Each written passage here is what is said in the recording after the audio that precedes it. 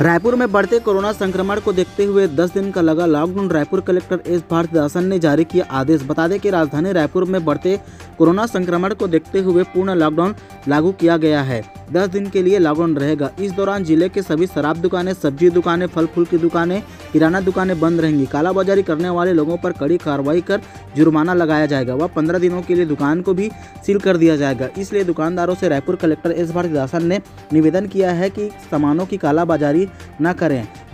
Raipur collector द्वारा जारी आदेश के अनुसार रायपुर में 9 अप्रैल शाम 6 बजे से 19 अप्रैल की सुबह 6 बजे तक टोटल लॉकडाउन जारी रहेगा।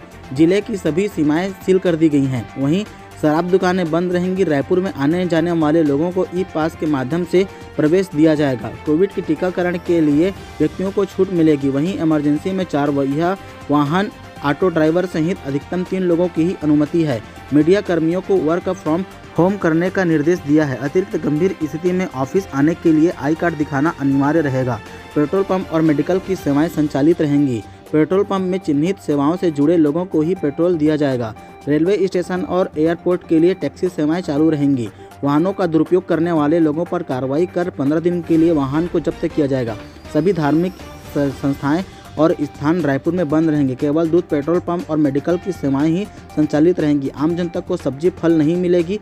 दूध वितरण के लिए निर्धारित समय तय किया गया है। पर्यटन स्थल, शासकीय एवं निजी कार्यालय को बंद किया गया है। शासन से अनुमति प्राप्त परीक्षाओं को छोड़कर बाकी अन्य परीक्षाएँ स्थगित रहेंगी। कोविड संबंधित कार्य चालू रहेगा।